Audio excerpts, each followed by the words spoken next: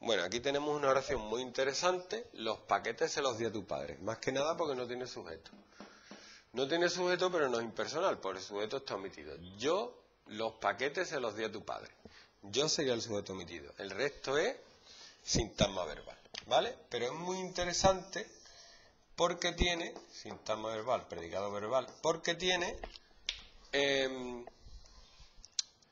el complemento directo repetido, ¿vale? Yo, si yo lo pongo en un orden normal, yo di los paquetes a tu padre, estaremos de acuerdo que esto es el complemento directo y esto es el indirecto, ¿vale?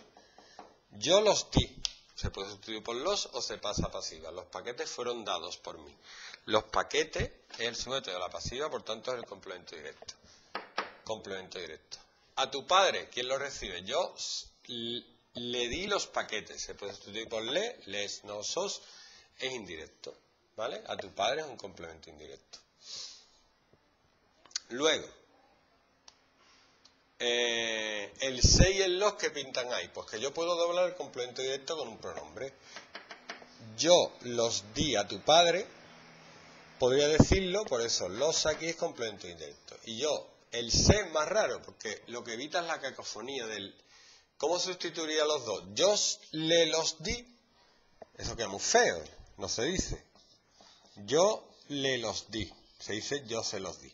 Entonces este se que sustituye a este le para evitar la cacofonía que suene tan mal, también es complemento indirecto, es como el le. ¿Vale?